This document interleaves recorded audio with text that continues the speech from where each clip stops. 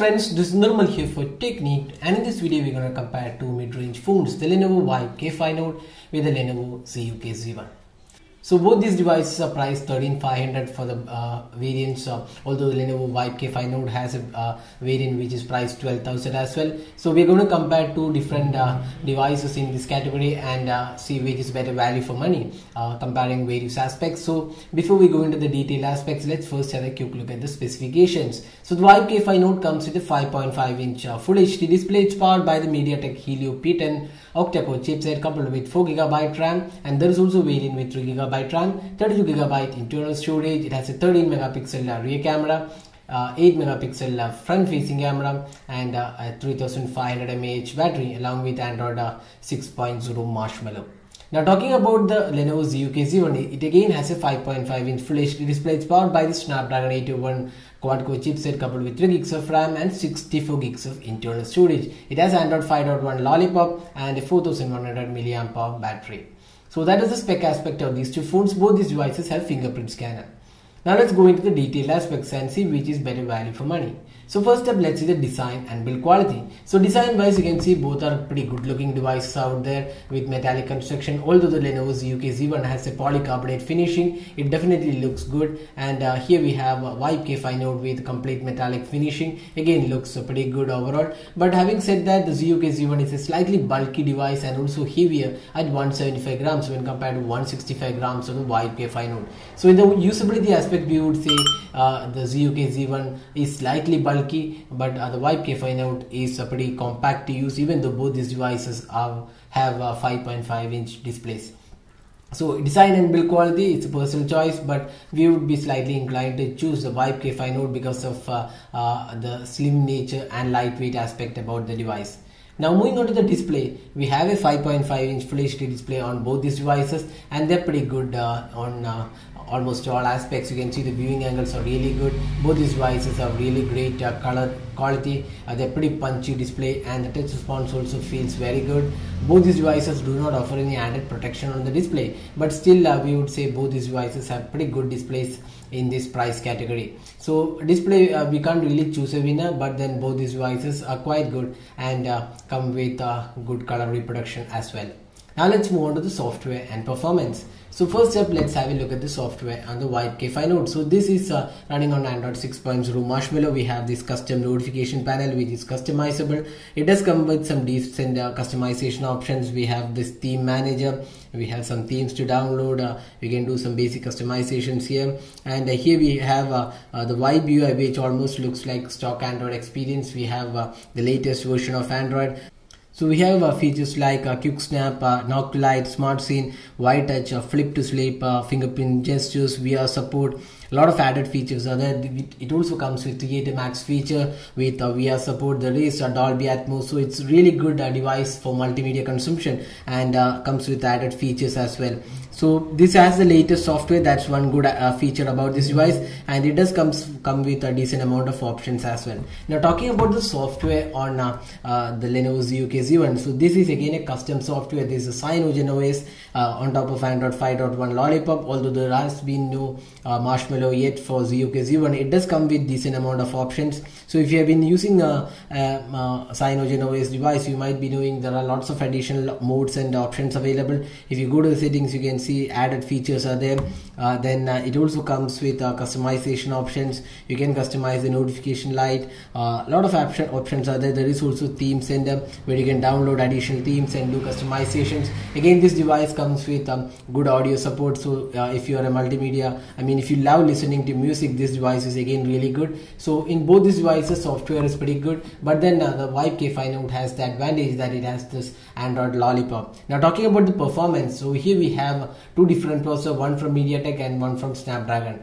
The uh, Vibe K5 Note comes with a P10 Helio uh, octa-core chipset we coupled with 4GB RAM, while uh, on the ZUK Z1 we have the Snapdragon uh, 801 quad-core chipset which is uh, more powerful than uh, the Helio P10. Although the Snapdragon 801 is a pretty old chipset, almost two years old, it's still one of the really good powerful flagship chipsets available. And if you're looking for better gaming experience, we would say ZUK Z1 is a better choice because Snapdragon 801 is really good processor in terms of the gaming experience. Now looking at the benchmark scores, you can see uh, the Snapdragon 801 is uh, more powerful than the uh, Helio P10 octa-core chipset and uh, the benchmark scores are also higher for this device. So but in day-to-day -day task, uh, you never notice uh, there is any major difference in terms of performance. But when it comes to gaming and heavy multitasking, that's where the ZUK Z1 excels with the Snapdragon 801 chipset. Now talking about the other aspects, both have dual SIM card, 4G LTE support. the ZUK Z1 comes with 64 gigabyte internal storage. There's no micro SD card expansion slot but you have plenty of storage now uh, the Vibe K5 Note comes with uh, 32 gigabyte internal storage and it has a hybrid SIM card. So it does have an option to expand the storage but then you have to compromise on one sim card. So it's a personal choice on whether you want uh, additional storage or you want uh, a micro sd card expansion slot. So that was the software and performance. So both these devices are quite good in terms of the performance but in the software aspect we would say the k5 note is the better choice because it has this latest android 6.0 marshmallow. Now let's move on to the camera so both these devices have similar camera configuration. It's a 13 megapixel shooter on both these devices, uh, LED flash and uh, then uh, we have a front facing 8 megapixel camera on both the phones. Now the additional feature uh, for the ZUK Z1 it has optically image stabilization and uh, it also comes with a slightly different interface. You can see uh, it's a CyanogenOS interface so there are added features when compared to the uh, Vibe K5 Note.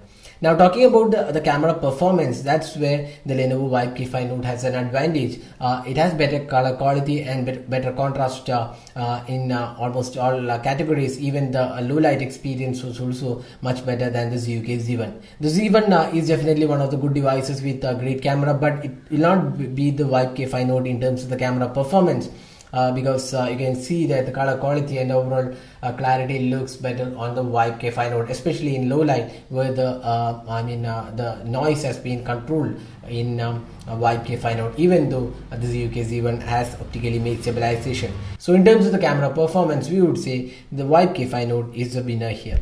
Now talking about the fingerprint scanner, we have a fingerprint scanner on the rear panel on Vibe K5 Note, while on the ZUK Z1 it's on the front panel. So both the fingerprint scanners uh, work really well and there's no lag or issues and they're pretty responsive as well. Now it's a personal choice on whether you like the fingerprint scanner on the rear panel or on the front panel. Now finally talking about the battery performance. So both these devices are quite good capacity battery. The 3500 mAh battery on the Lenovo Vibe uh, K5 Note with uh, the 4100 mAh battery on the ZUK Z1. But having said that, uh, uh, we have we can clearly say the ZUK Z1 has better battery performance even though it has Android 5.1 Lollipop. Now with Android 6.0 Marshmallow, the battery performance definitely decent on the Vibe K5 Note, but it will not uh, still be the Lenovo ZUK Z1 because it has a bigger capacity battery. So summing up, uh, we have talked about almost all aspects. So we'll uh, list out the uh, pros and cons of these two devices. So Vibe K5 Note has uh, pretty good design. Uh, it has a good display. The software is also good. The performance is uh, quite decent, but not the best. The camera is again good. Again, the battery performance is um, average, or we would say decent. Now uh, with the ZUK Z1 we have uh, again a quite good uh, build quality, display also quite good. The software is decent but then it's not the latest version. Performance is uh, really good. Then camera again uh, it was not as good as uh, the Vibe K5 Note and the battery performance is stellar. So both these devices are priced 13500 Now which is the better device to buy? So that's a uh, tough question to answer because uh, you have to uh, differentiate your priorities. If it is camera, then if it, then you should be looking at uh, I mean uh, the Vibe K5 Note but if you're looking for uh, more storage then the Vibe K5 Note has just 32 gigs when compared to 64 gigs on the Lenovo ZUK Z1 again battery performance is better on the ZUK Z1 but having said that uh, the ZUK Z1 has a little older processor almost two years old processor. So some games uh, or some rare games might not be really compatible. Uh, one issue you might face if you're looking for latest games and other tools so that was the detailed comparison on uh, these two devices. So which is better device to buy? It's, it's all depend upon uh, your priority and uh, you can choose based on whatever we have mentioned here.